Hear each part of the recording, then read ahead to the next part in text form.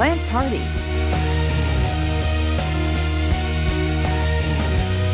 Ram recognized. And Top 10 Engine. Those are among the top stories this week under the Pentastar. Sterling Heights Assembly Plant began production of the all new 2011 Chrysler 200 and Dodge Avenger. The plant, scheduled to close, now will see the addition of a second shift. Sergio Marchionne, CEO, Chrysler Group LLC, was on hand to help celebrate the special event. Today, we're making another step, we're marking another step in Chrysler's comeback story.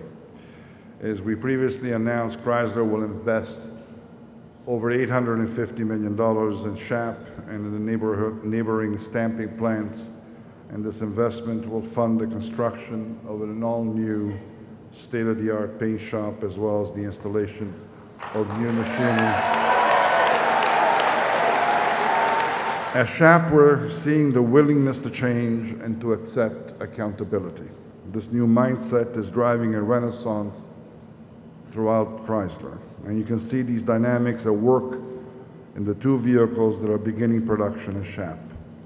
Marchionne was joined by Michigan Governor Jennifer Granholm, Sterling Heights Mayor Richard Notte, Vice President and Director of the UAW Chrysler Department, General Holiefield, and Shap employees who all recognize the importance of the plant, the workforce, and the all new Chrysler 200 and Dodge Avenger to the future success of the company.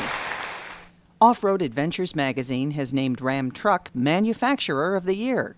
It credits Ram Truck's commitment to advanced design and proven powertrains for the honor. Off Road Adventures editor and publisher Dennis Snow said today the new 2011 Ram carries forward the legacy of innovative upgrades, one that the editor and writers of Off Road Adventures magazine recognize as a significant achievement in truck design and engineering.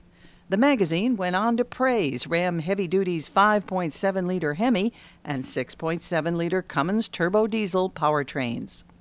And speaking of powertrains, the Chrysler Group's newest engine, the Pentastar 3.6 liter V6, has been recognized by Ward's Automotive as one of the 10 best engines for 2010.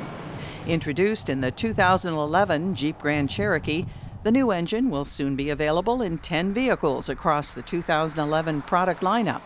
By 2014, the new Pentastar V6 is expected to account for more than one third of the powertrains in the Chrysler Group product lineup and will substantially contribute to achieving an overall corporate fuel efficiency improvement of 25%. Every year, Ward's Automotive recognizes the industry leaders in engine technology, said Drew Winter, editor at Ward's Automotive. The new Pentastar delivers on all fronts, including fuel economy, lower emissions, and power. And those are the top stories happening under the Pentastar for Chrysler Group Electronic Communications. I'm Betty Carrier Newman.